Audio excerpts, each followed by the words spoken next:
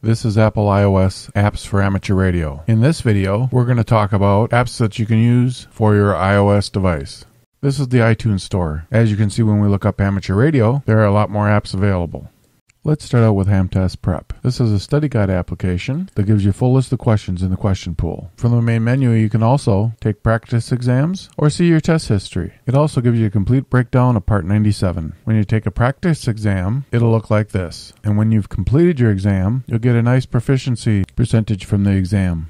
Next, let's look at QRZ for Apple. When we look up W1AW, we get all the information we'd expect to see from the standard QRZ page. We can also see its location, and if we want, we can actually see a standard QRZ page. Then there's Repeater Book, a nice little application that finds repeaters that are close to you. For instance, the AH6LE repeater is only 0.9 miles away. And as we scroll down the list, we see that the N7 ASM repeater is only 4.8 miles away. If we click on the repeater listing, we get all the particulars about that repeater. There's also filters that we can select which repeaters we will see, as well as which modes we want to use. You can also set auto location. That way you only see the repeaters that are nearest to you. We also have OpenAPRS, a nice little APRS app. From the main screen on the app, it gives you a working compass, as well as access to all the app's features. This area here gives your exact location, as well as some of the setup features. We can also do a search and see when the last time one of our fellow hams was on, as well as the ability to message back and forth. We're also able to look people up on a map as well.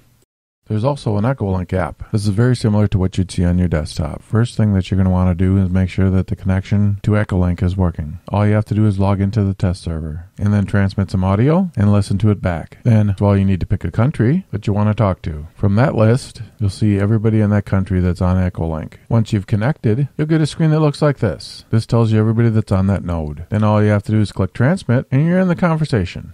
And let's not forget iCluster, a neat little app to catch spots in the DX cluster. From the main page, you'll see all the current DX spots and who sent that spot. If you click on one of the spots, you'll come up to this page, which gives the spotting details, as well as the information from the heard station. You can also connect to numerous different DX clusters. There's also an area for alerts and filters. You can filter by band, by mode, by zone, and by call. This app also has a very nice link to QRZ.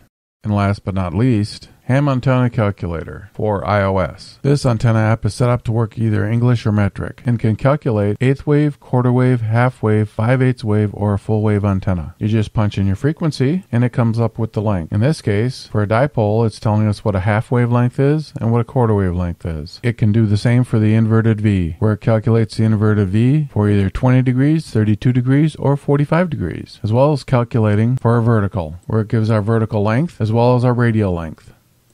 The iTunes App Store has a lot of amateur radio apps that are available. This video is just to give you a quick look at what's available for ham radio in the App Store. I hope this video has been helpful, and 7 threes from N9 LVS.